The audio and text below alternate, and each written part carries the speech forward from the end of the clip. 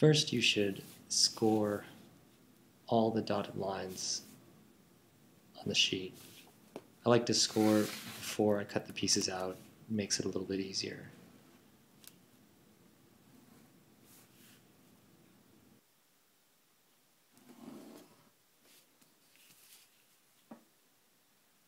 Score the orange section per the lines there.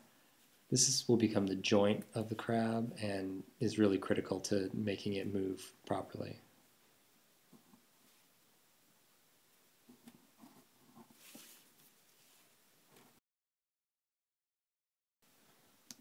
It also makes sense to cut all the holes where you'll have to thread rubber bands or string now while all the pieces are still in the sheets. Next, cut out all the parts. Pay attention to the letter markings next to the, the parts just so you know how they go together.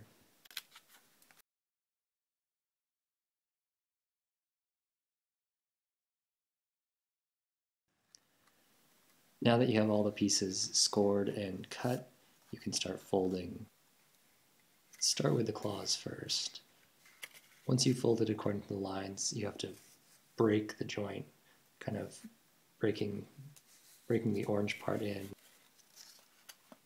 I do that by squeezing the arm together and then slowly moving the next segment of the arm up and down.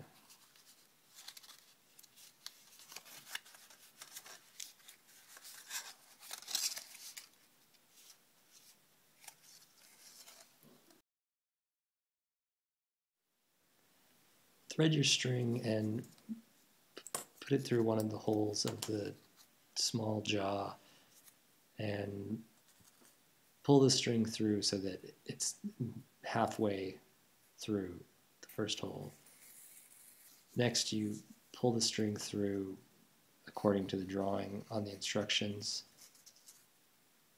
The way this is threaded through here keeps the string from sliding around um, through the holes of the jaw and also keeps it so the string is pulling um, on the jaw in the right way.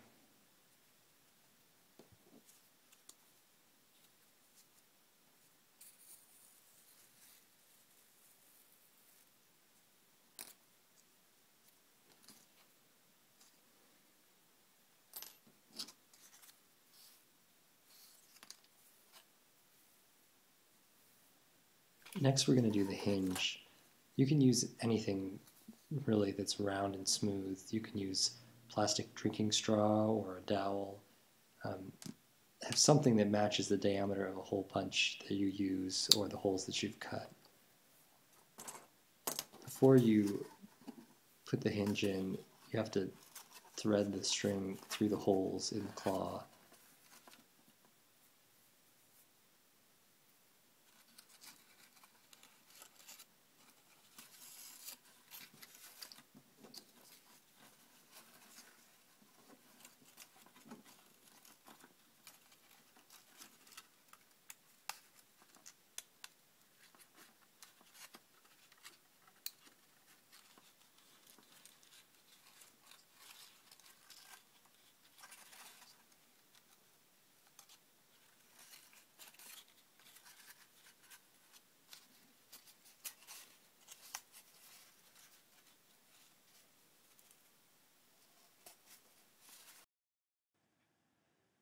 when you're picking rubber bands, pick something that's skinny rather than fat. It'll tie better and it will be way easier to thread onto a needle.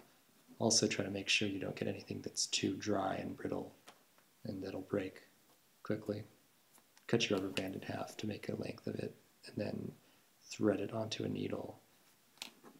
I use a needle that's for yarn or for doing tapestry. It has a, a big enough um, eye that you can fit a rubber band through. Tie a knot or two in the very end of one end and thread the other end through the needle. Now the first rubber band that I put in is to close the claw. And you stick it through the top. through the jaw at the same time. Pull it through and then pull it through and tie it tie a knot so that it's not too tight, but enough to snap the jaw shut when you pull it out.